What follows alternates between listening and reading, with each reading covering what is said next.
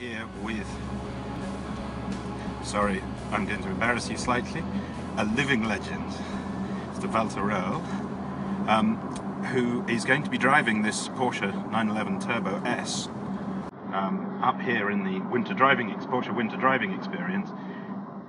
Röhrl is going to be driving it fairly sideways while I am attempting to interview him for this special 70th birthday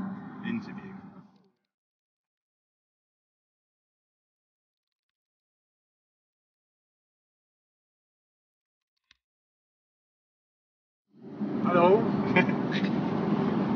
I'm very glad to be here in Finland on icy roads because that is the maximum you can have fun on car driving.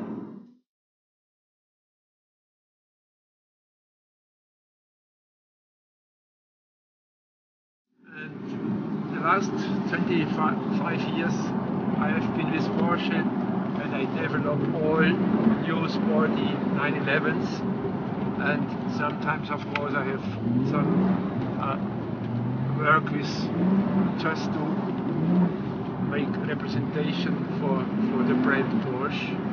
But still the, the main thing which I like is to drive a car. That is, that is my life and it's so nice to play with this car like here on ice. It is the same fun you know like I had 50 years ago.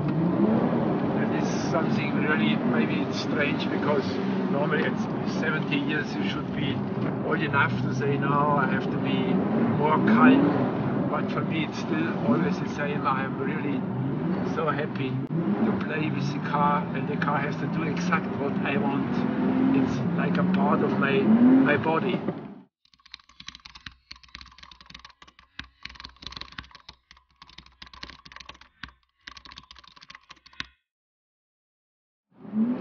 If you had to have one car from the current Porsche range and drive it for the rest of your life, which one would that be?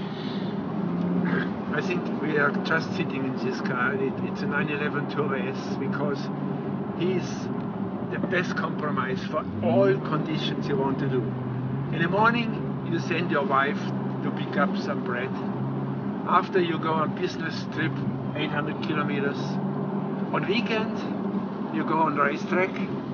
And in winter time, you go skiing. You know, that is something that, that is fantastic.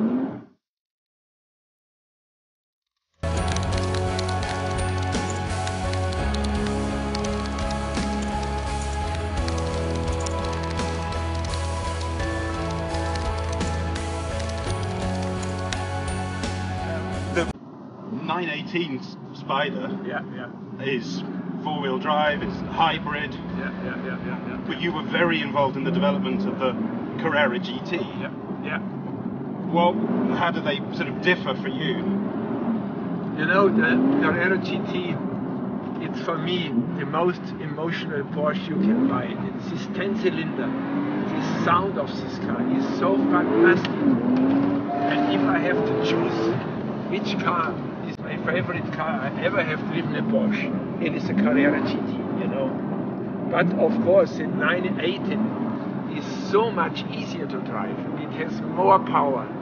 But that is not the question. The question is for me, it must be the car with, the right sound and the car which needs some respect. The Carrera GT is just the right car to, to learn what, what it means to